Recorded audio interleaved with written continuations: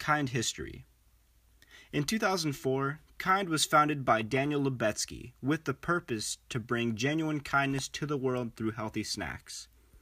Kind describes itself as a not only for profit. And according to Fortune.com, Kind actually supports customer generated projects that help the community. Kind Movement. The Kind Movement has the mission of inspiring kindness and an overall goal of creating a kind state of mind in the world.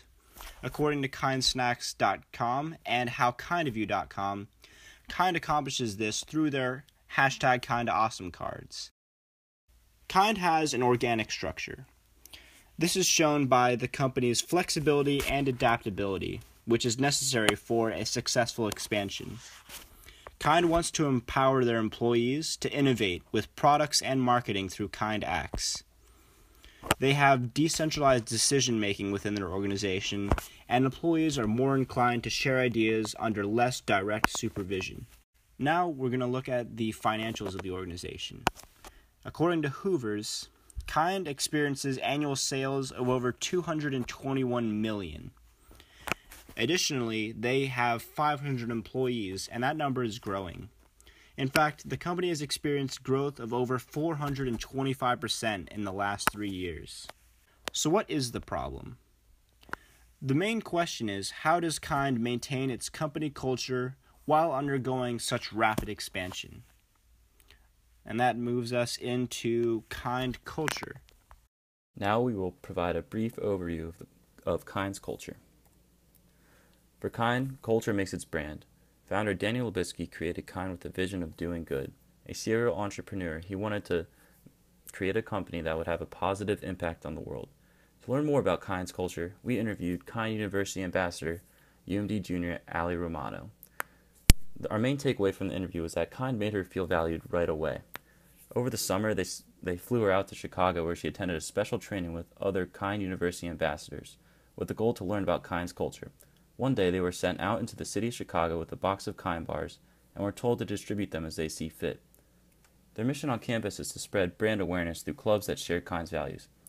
For example, if there's a club that specializes in a certain charity, Allie may go distribute Kind bars to that club in order to spread Kind's message and culture. Using the organizational culture framework, we provided a culture assessment for Kind. We found that Kind has high team orientation. Kind employees prefer to function in teams instead of alone. This is proven from our interview with Ali Romano in that most of our activities at the Kind University Ambassador Training were performed in teams. Kind also has high people orientation. Managers focus on employee happiness. Ali said her manager has the goal to visit every single campus where she has Kind University ambassadors and checks up with her regularly. Lastly, Kind has high attention to detail. They must uphold the Kind message and brand, which is why they spend so much time and energy focusing on the culture and the message that Kind provides. We found that Kind has low aggressiveness. Employees are more cooperative than aggressive, which fits in with their Kind culture. And lastly, we found that Kind has low outcome orientation. They're more about the message than the sales. In conclusion, culture is Kind's biggest asset, as Kind aims to build a message based on his culture, the bars will sell themselves. And not only will the bars sell themselves, but employees will be happier. And we found through our survey that people tend to value and want to work for companies that have strong company culture. What exactly will permit the continuity of a small, close knit feel as new employees are rapidly hired? Our plan for Kind narrows in on three areas of focus recruitment, education, and motivation. As we know, the people make the culture. As Kind rapidly expands, it must seek to revitalize its recruitment process, ensuring that any and all new employees not only embody Kind culture, but also possess unique skills and backgrounds that will push for continued company growth, advancement, and innovation. To accomplish this, we recommend that Kind integrates cultural fit into the hiring process. Interviews will include a personality assessment in order to gauge if the goals and values of potential employees align with those of the company.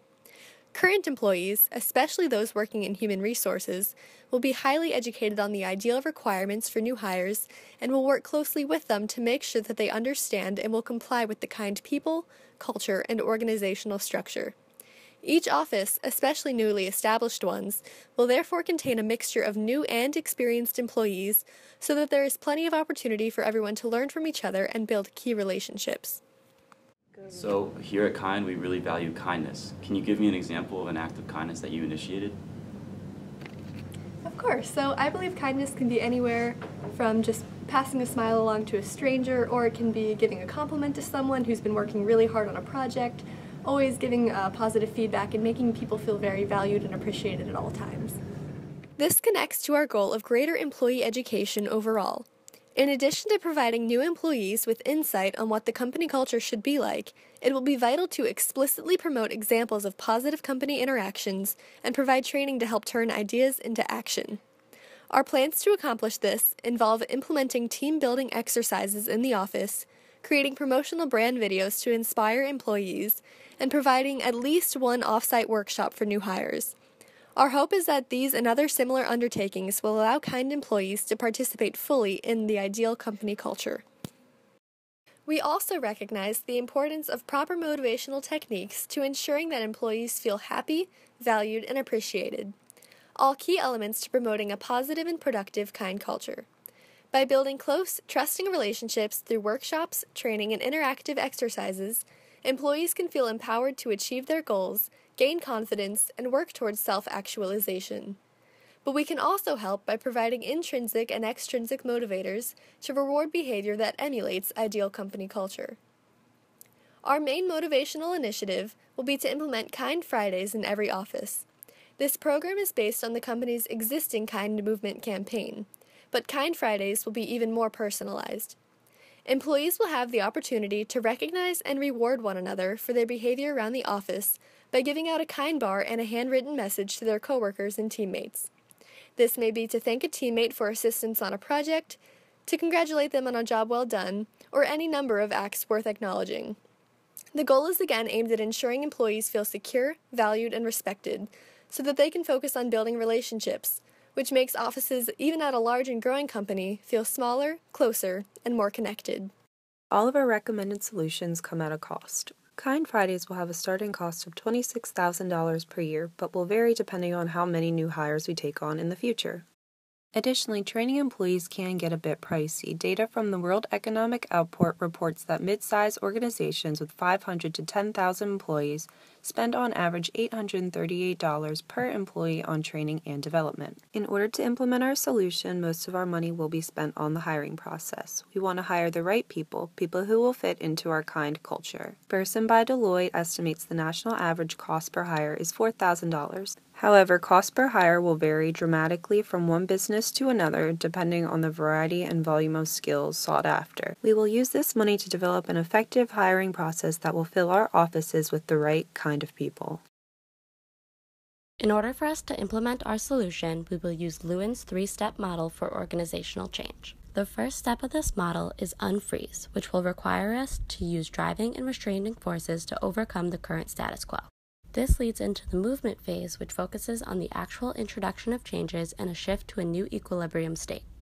It is important that there is a strong continual momentum during this stage in order for changes to be accepted in the final stage of refreezing.